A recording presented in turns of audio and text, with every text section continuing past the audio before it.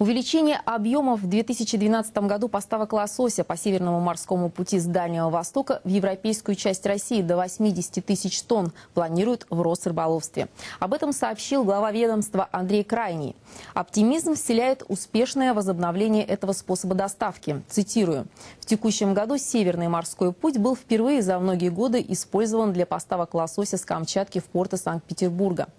Мы доставили уже чуть более 10 тысяч тонн. В настоящее время в Санкт-Петербург прибыли два судна. Всего в этом году мы думаем, что 3-4 транспорта успеют пройти. А в 2012-м объем поставок лосося с Дальнего Востока по Севморпути в европейскую часть России может достигнуть 60-80 тысяч тонн.